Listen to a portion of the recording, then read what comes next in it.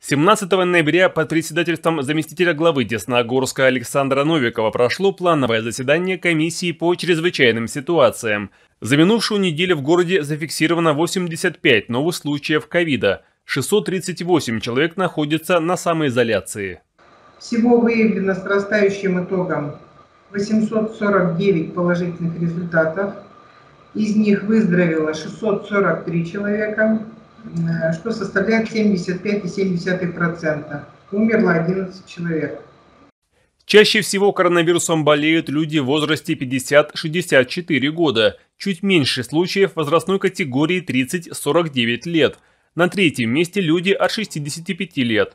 При этом новая негативная тенденция отмечена среди детей. Это двукратный рост заболеваемости за последнюю неделю. Новая ПЦР-лаборатория постепенно выходит на плановую производительность. Кабинет расположен на базе Центра гигиены и эпидемиологии. Ну, потихоньку, потихоньку будем э, увеличивать объем. Э, не так все быстро, к сожалению, идет. А так лаборатория работает, начала функционировать. Владимир Анатольевич, мощность сейчас какая у вас? Сейчас делаем порядка 50-60 анализов за смену. На предыдущем заседании комиссии глава Десногорска Андрей Шубин дал распоряжение управляющим компаниям о необходимости более тщательной уборки, в том числе в подъездах жилых домов.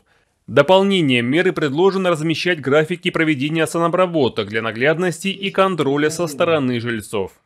Работу нужно показывать.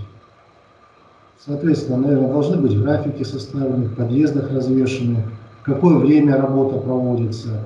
Может быть, э, ну, совместно какие-то рейды сделать по проверке, а действительно ли проводится дезинфекция или нет.